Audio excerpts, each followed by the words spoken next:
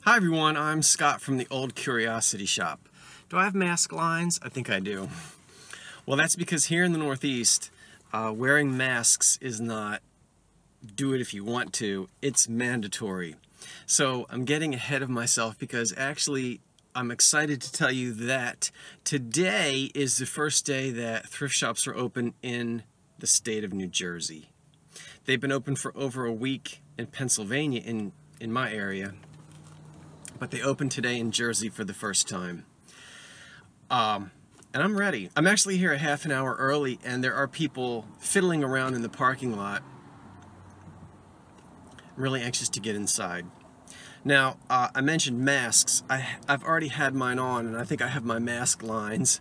Um, we have to wear them in all businesses here in the Northeast, uh, New Jersey and Pennsylvania. So I will have my mask on. I also have my own handy wipes and some spray and a cheese stick. So I'm ready.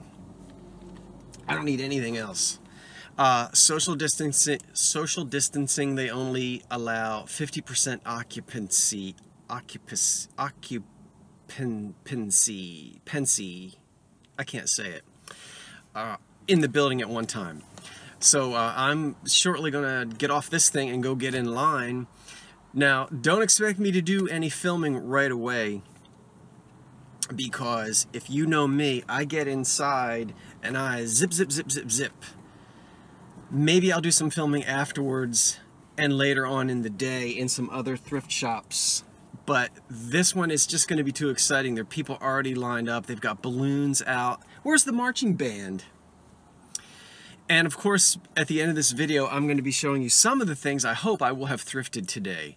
So sit back wherever you are and enjoy, I hope, me as I go shopping for vintage things, mostly from the 1920s, 30s, and 40s. But I will occasionally, as you know, dip into the 70s and back into the Victorian era. Okay, let's go see what we can find. I'm so excited!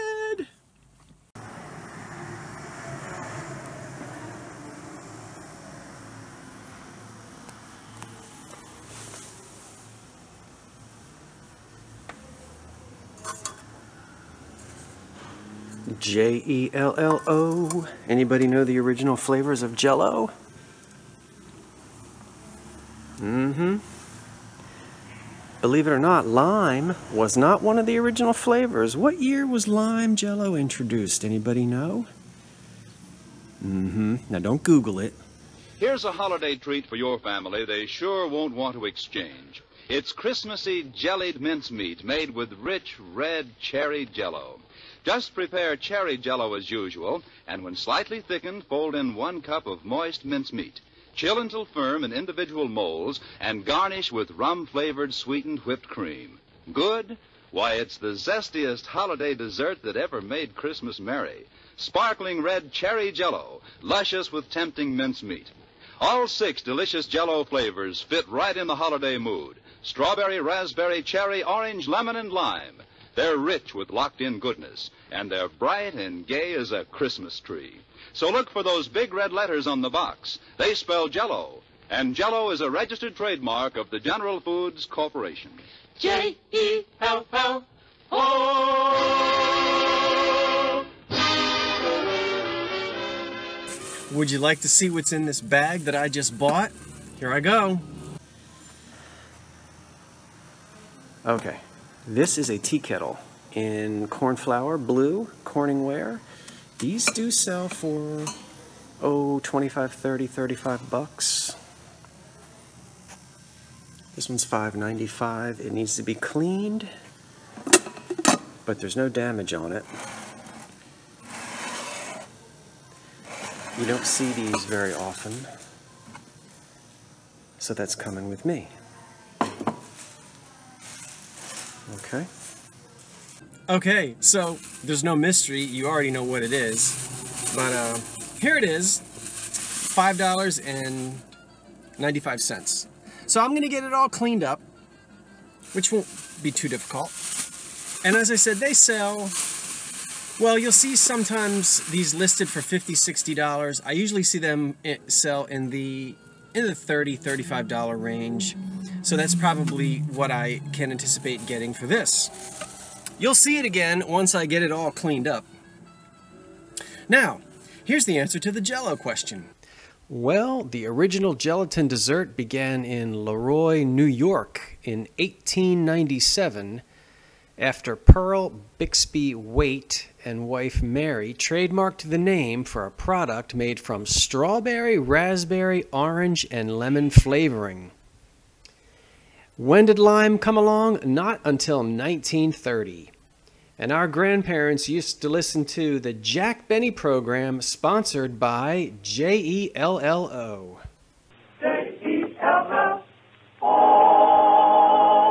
The Jello program starring Jack Benny with Mary Livingstone and Phil Harris and his orchestra. The orchestra opens the program with Alabama Barbecue from the 27th edition of the Cotton Club Parade.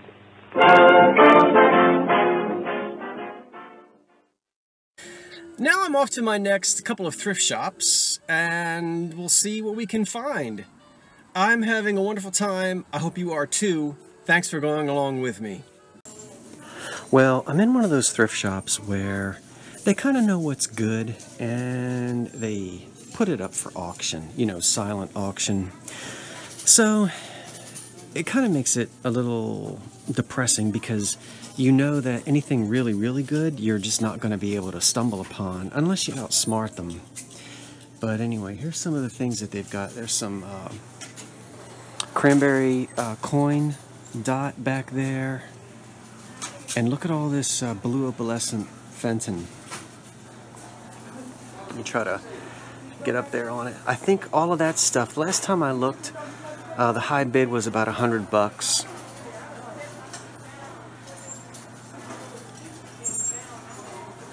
Lionel uh, train items. And uh, there's some Edison cylinders.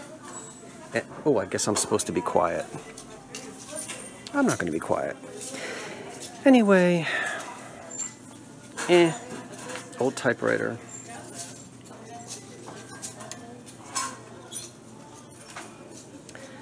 That's a reproduction rocker, not an antique. A nice uh, 1930s uh, robe kind of a thing. There's a antique oak turn of the century dresser, an old school desk. But if you're not familiar with it, the way it works is they have this book.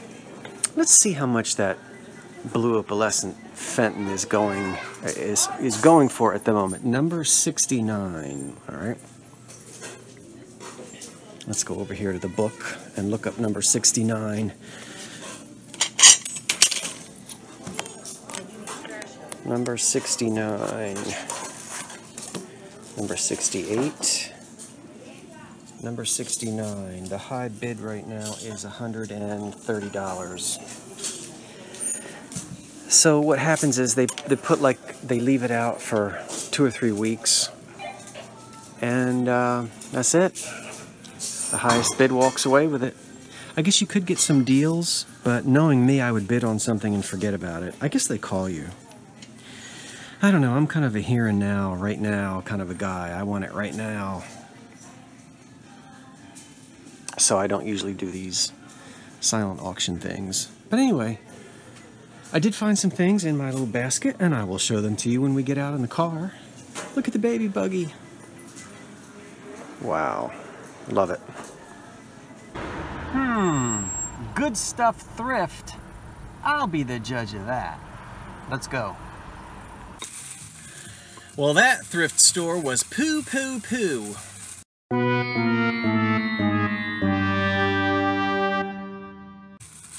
Actually, because, well, it's the first day in New Jersey and people are lined up and so some of the places i skipped and went back to um, it's just fun and exciting being out. And again, I'm taking precautions as we are, as we have to. But I'll show you some things. Now, I know a, lot of you like the kitchen counter thrift hauls because everything is clean and sparkly and I get real close with the camera. But I like to shake it up every once in a while. So I'm going to quickly flash to you or at you what I bought today. You'll see it again in better clarity and state of cleanliness when I finally get it inside. So none of this is up for sale yet. I'll let you know when it will be. Okay, so the first thrift store that I went into this morning, but once I got inside, I had to grab a cart and fly, and I mean fly. And I was the first one to see this and grab it. Now it's the Pyrex Butterprint refrigerator dish and it's in really good condition. There are two chips, a tiny one right there on the corner of the lid. Okay, these lids are often chipped. Eh. The dish itself has really what I would call a flea bite right there. It's it's tiny and it's really smooth, uh, so you'll see it later. But you can see the colors are really good. Uh, there's no heavy wear to the graphic, and that's what really counts on these. And it is nice and clean. And I don't remember what they sell for, but it was only, I think, $4, so I know I'll do okay with it. This, I'm just going to take a chance on it. It's not old, it's a modern piece of art glass, but it's really pretty iridescent, and it's got the glass drizzle on it. It is signed on the bottom. I, I'm not, I don't think that's a, I don't think it's a date. I'll show you later. Um, but that was $5. Just a nice piece of uh, contemporary art glass. And then thinking ahead for the fall season, this will come back when I show you my items for sale next autumn. Uh, a uh, daisy and button glass shoe in Amberina. Oh, that was $2. And then I, for whatever reason, hardly ever find, what is it? That's right, it's called Goofus glass. Goofus glass. Goofus glass almost always has loss, and by loss I mean paint loss. This was cheap pressed glass, crystal clear glass, and then they would spray on uh, the red color first and then the gold color afterwards. They just spray it on almost like spray paint. It does not hold up very well over time. So collectors of Goofus glass, um, if you're looking for a Goofus glass that's perfect, you probably have a very small collection because it's really hard to find Goofus glass that is perfect. This was $2.99. It doesn't have a lot of great value, but since I hardly ever find Goofus glass, I think it's maybe only the second piece I've ever bought. I went ahead and got it anyway, and I'm probably going to sell it in my autumn sale because it has kind of an autumny feel, I think. Many companies made it, and it was produced around the same time as uh, Carnival Glass, turn of the century into through the teens and, and maybe dips into the early 1920s a little bit. And it's just trying to emulate more expensive glass of that era. Uh, and this would be the equivalent of really going into like a dollar store today and buying a very inexpensive piece of glass. But there are Goofus glass collectors. And then in Goodwill, and you'll have to wait till later to really see these unless you look them up, these are made by the Jeannette Company and they were produced in the 1950s. They're little dresser uh, containers, dresser dresser jars, and they have, uh, it's iridescent. Well, you can't see that. Okay, let's, let's get one out of there. Hold on. I see these mistakenly listed all the time as carnival glass, and they are not carnival glass. Ooh, it's dusty.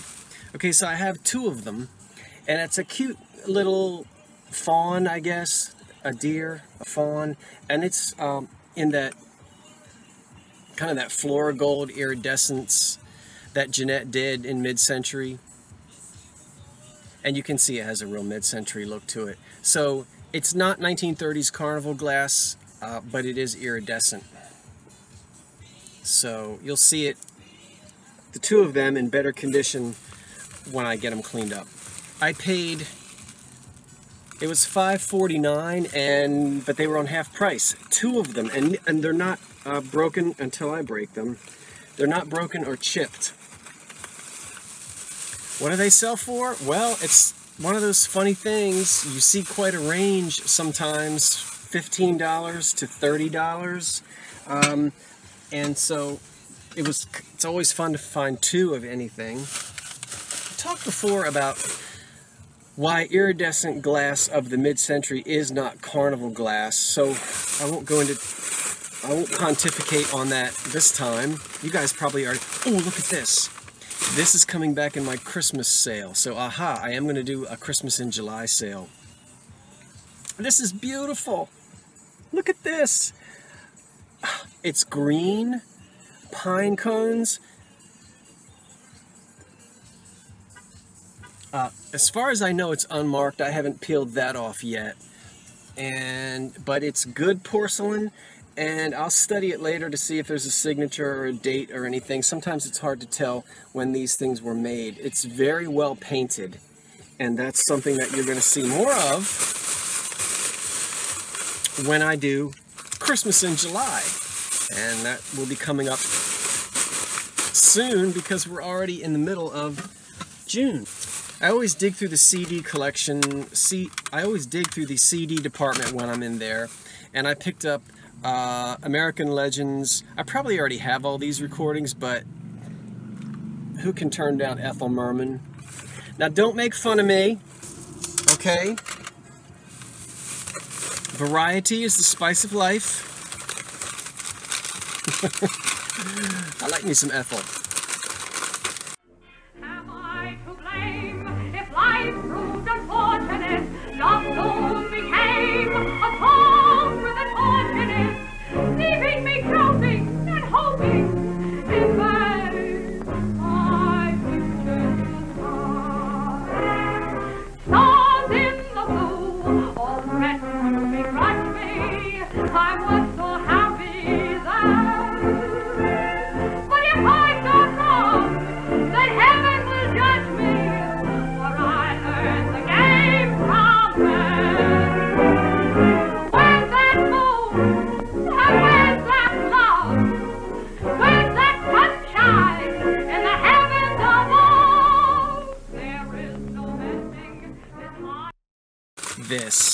Is Noritake, $1. It's tiny lusterware with black trim. What is it? Is it a little tiny individual ashtray? You know, for the bridge table? Probably. You couldn't fit very many peanuts in there. I don't know what I'm going to do with it, but I'm going to save it for next Halloween and do something with it. All right. Uh, I don't know anything about this. I've never heard of it before. It's made in Japan. And it says M A R U R I, Marori. And it's just a cute little bisque figurine. Probably paid too much for it. It was $2. It's just a, I need to clean him. A pensive little boy, just kind of looking around. But he does need to be cleaned. I went ahead and bought it. I'll look it up later. I paid two dollars. Maybe it's worth two dollars. And then a few more things, a few more things that I'm going to save for my autumn sale. I bought two plates in amber gold encrusted elegant depression glass. Yes, I bought just two. Why just two? I'll tell you later. And then also a beautiful amber console bowl. This is also from the Depression, made by one of the good Depression glass companies. It doesn't fit. It's not supposed to sit on this. I just did that for the beauty of it. And again, these pieces are going to be in my autumn sale. And then for myself, I don't usually buy clothing, but I sometimes look at men's clothing and uh, sometimes you'll find a piece of men's clothing that is in really an excellent condition. So I bought this short sleeve shirt for myself. Um, I wear a small, sometimes a medium, and it's sometimes difficult to find that size. Everything is just so big. But you guys will have to tell me, Um, is this out of style? I'm not a big fashionista kind of guy, so if I'm like 10 years out of style on this, you'll have to tell me. Uh, not that I care, but it's just a pretty summer shirt and it's really clean. I don't even think it's, you know, you look at the collar, you look under the arm, you look at the you look at the cuffs and th- well, this doesn't have cuffs. You know how to look for wear. It's really clean. It's three dollars, so I'm gonna wash that and I'll be able to wear it.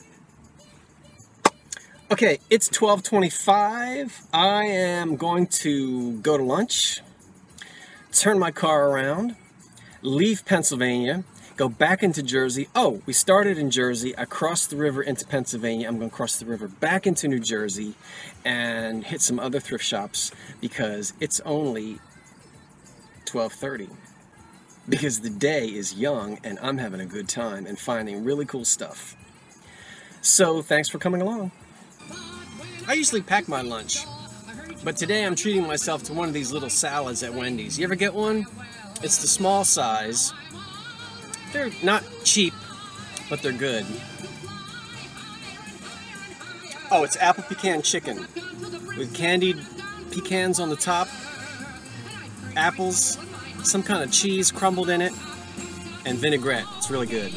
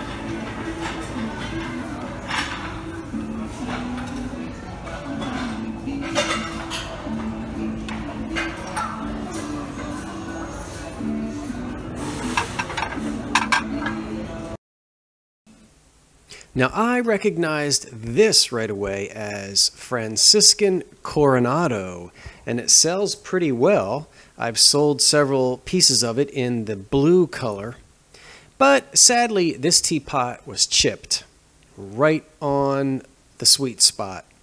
And I don't really like selling chipped pottery, so I decided I would leave it there. Oh well.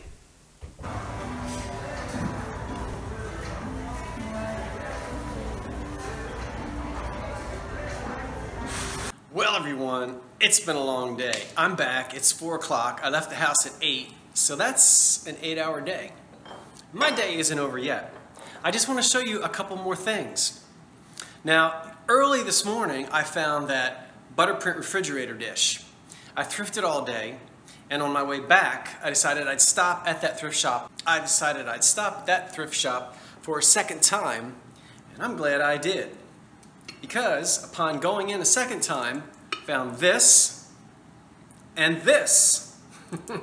so, um, missing the, the second one of these, that would make a full set of four refrigerator dishes. Uh, so I'm probably going to just piece these out in three separate auctions since I don't have a complete set and I'll let folks bid on these individually to complete their own sets. But boy was it worth going back. $2.99 and $1.99. And then also a few more Christmas things, which you will see when I do Christmas in July. But first, a quick peek. There's a little pixie sitting there, cold painted red, and you probably can't tell because of the light. His face is actually pearlescent. So I don't believe that, uh, so that's original. I don't think his face was ever painted. This finish is different from this, although you can't see because of the light. You'll see him up close Christmas in July. And then lastly, uh, a pink Santa Claus on a sleigh. This is made by Westmoreland Glass. It's a little candy dish. And uh, this reminds me so much of the German hard candy that we get at Christmas time. That's part of the part of German uh, Christmas traditions. Uh, they're usually little candy toys or little uh, statues, and sometimes they're on sticks uh, to lick. Other times it's just hard pieces of candy. But that's what this reminds me of. And it's Santa on a, on a sleigh, and you'll see him next month. Okay, I had a good time today. I'm glad you came with me. Nothing that you saw today is up for auction yet but it soon will be. And how will you know? Well, you'll know when I show it to you again on the Kitchen Counter Thrift Haul. So I'm Scott from the Old Curiosity Shop saying thanks for watching and so long for now. Oh, wait a minute. Did I see? I did. Somebody probably wants to make an appearance. He's not always grumpy. See, when he doesn't have his, uh, when, he's, when I'm not competing for his toy, okay, my supervisor wants to say hello. The hello cell. Are you mad?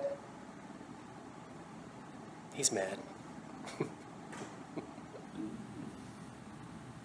he's not mad, he's purring.